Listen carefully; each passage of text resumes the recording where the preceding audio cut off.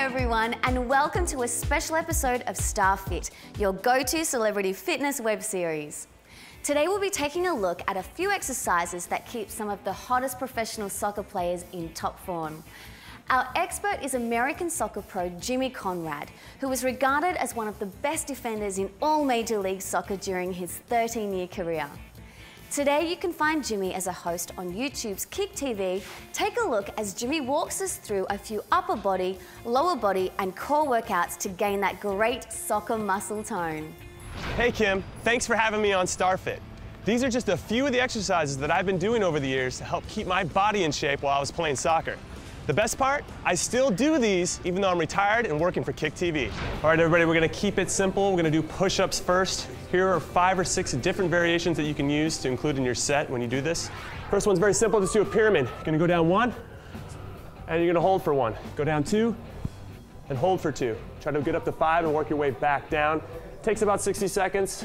It's gonna hurt. If you wanna make it a little bit tougher, you can do the same thing, but now you're gonna add a pull. Pull up one with one arm, pull up with another, usually hold maybe five to 10 pound weight. If you wanna get real tough, maybe 25 pounds. Same thing, go up to five, work your way back down. The next one is an airplane push-up. Come here, and you twist up, come back down, do the other side.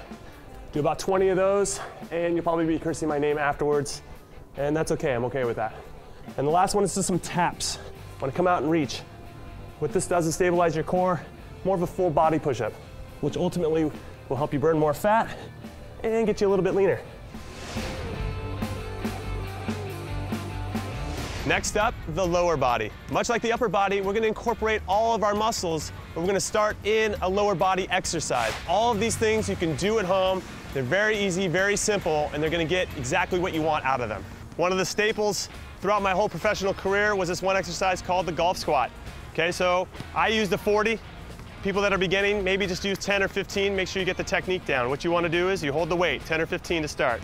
Get down, make sure you squat low, and then when you pop up, you come up over your shoulders. It almost looks like a golf swing, hence why it's called the golf squat. Then you come down and you switch. You really want to make sure, though, you come up and over your shoulder, because it's going to activate your whole core again and really get everything working together at the same time like you would if, if you were playing or doing any other kind of activity. So when he goes fast, it just looks like this. Maybe you do 10 to start and build yourself up to about 20. From there, you can do outside to in golf squats. So instead of starting in the middle, you start outside and you push into the middle.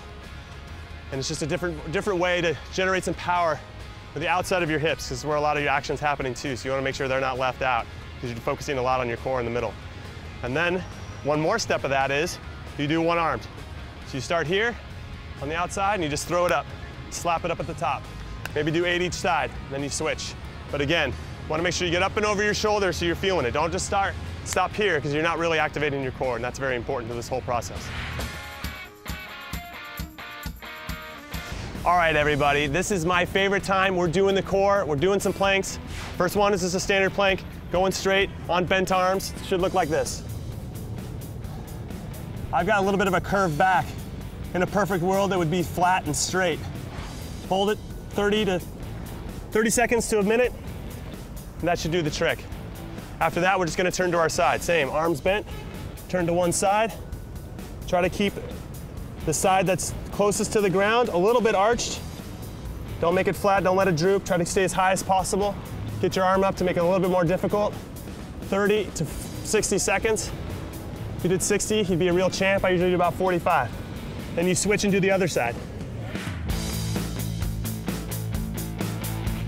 That is it. That was my core workout. What? That was my whole workout. You got upper body, you got lower body, and you got some core. You pick one exercise from each of those groups that I showed you. You do it, I don't know, three or four times. Do that four times, you are gonna be flying. You can mix it up, you can change it any way you want, you can add reps, you can add weight, and it's a lot of fun and a lot different and a lot better than going into a gym and pulling on some weight. So hopefully you got something out of this, and now it's back to you, Kym. Thanks, Jimmy. I'll definitely try those moves at home. Here's how you can remember what Jimmy just showed us. Here's another look at my upper body exercises. Give the pyramid a try, it is by far my favorite. For lower body exercises, make sure you add a throw to engage your core. And finally, add some planks to finish off your set. We'll see you next time on StarFit.